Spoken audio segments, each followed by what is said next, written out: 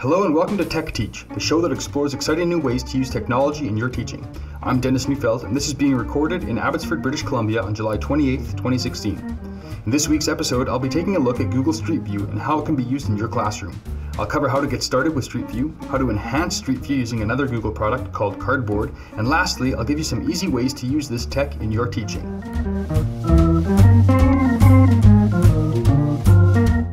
First of all, what is Street View? At this point, the Street View function inside of Google Maps has just about become a household term. Many people use Street View regularly to take a detailed look at a trip's destination to get a sense of the area and what the location might look like. Some people even use Street View to drive their route in advance. Practice makes perfect, right? But most people aren't aware the Google Street View function actually has its own dedicated app for mobile devices. That's right. While the app does basically contain the same features as the Google Maps function, there are some important differences, which I'll get to shortly. So here's how to get started with Street View. The app downloads like any other app on your mobile device. I'm using an iPhone and the App Store. If you're using an Android device, simply access the Google Play Store and search for Street View. The process will be nearly identical to this one. Locate the app and hit download. Breeze through the introductory menus. You need to give Google access to some of your phone's functions, such as the camera and GPS, but this is pretty much standard for apps like this one. Once the app has finished its setup process, you'll see a large map similar to this one. The next step is to do what everyone does, and that is to find your house and virtually stand in front of it.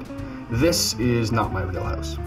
The app can then be used to drive around looking at anything that was photographed by the Google Street View car.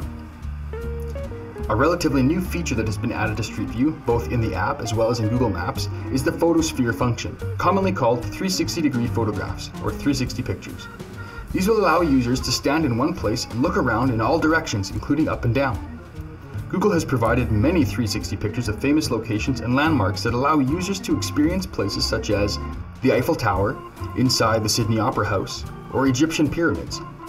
But the feature that sets the Street View app apart from Google Maps is that it enables users to create their own photospheres. That's right again. In fact, Google Street View is absolutely filled with user generated content. Before recording this episode, it was actually more difficult for me to find a Google sponsored photosphere than it was to find great looking 360 images uploaded by the general population. You now have the ability to share a unique location with the rest of the world, or even just with your family and friends. Check out this photo shared by Tim Mortensen atop Whistler Mountain just outside the Roundhouse Lodge. In a moment, I'll list some great classroom applications for Street View, but by now you're probably already thinking about sharing certain locations with your students.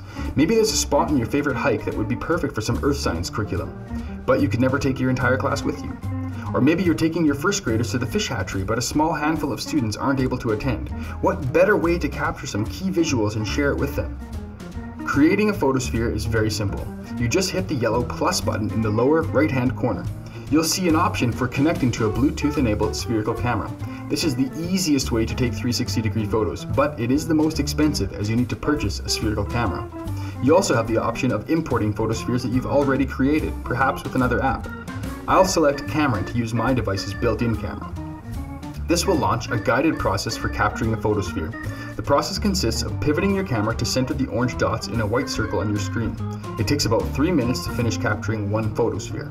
Many experts, including a popular website for 360 degree photography called 360 Cities, recommend using a 360 degree tripod for this process to ensure accurate image stitching, just like a panorama image. But I have found through experimentation that making an effort to hold your device in space, rotating and pivoting around the lens, not the center of your device, makes for acceptable results. Rob Nelson, a popular vodcaster and filmmaker, recommends keeping people and objects at least 3 or 4 feet away from the lens to help with image stitching. This is good advice. I created an image in the forest while on a bike ride with my kids. I hadn't heard this advice yet, and now my bike looks like it was sent through a wood chipper. Whoops. Once your image is complete, click the green checkmark, wait for the app to stitch your creation together, and voila, you've got a photosphere. The final step is to decide whether you want your image to be public or private. If public, you'll need to assign a location. The more accurate your location, the better, as it will help you and your students find it much easier. Giving it a clear and appropriate name also helps. To take your Photosphere experience to the next level, try pairing the Street View app with Google Cardboard, also available in the App Store and Google Play. Dieter Bohn of The Verge, a popular technology centered YouTube channel, describes Cardboard as a light sampling of the virtual reality experience. This app requires that the user has a virtual reality headset. Google makes one that can be purchased for under $20, and it is literally made of cardboard. Huh? I bought mine, the ViewMaster headset, at Best Buy for $29.99 and it works great. There are, of course, premium options for those wanting something a little more sophisticated. With Google Cardboard installed in your mobile device, you can access 360 photos in Street View just as you would normally. But in the top right corner of the screen, you'll see a cardboard logo that looks like a small set of goggles. Once clicked, your screen will divide into the left eye and right eye formats, meaning that your phone is ready to be placed inside the headset. The user can now interact with the image by turning their head to look around rather than dragging their finger. This is great for giving users the feeling of being in the space.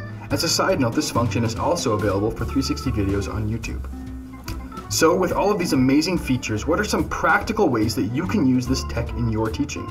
If you're a language arts teacher, consider using visual writing prompts. You may have done this in the past using regular 2D images. But think about how each student would experience a 360 degree image. The variety of image interpretations would be vast.